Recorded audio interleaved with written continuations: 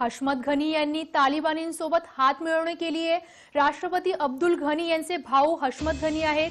तर तालिबानी अफगाणिस्तानवरती कब्जा केल्यानंतर अफगाणिस्तानचे राष्ट्रपती अशरफ घनी देश सोडून गेले असले तरी राष्ट्रपती अब्दुल घनी यांचे भाऊ हशमत घनी यांनी तालिबानींसोबत हात मिळवणी केली आहे. तालिबानींसोबत राहणार अशी शपथ घेतल्याचा व्हिडिओ सध्या व्हायरल होत आहे.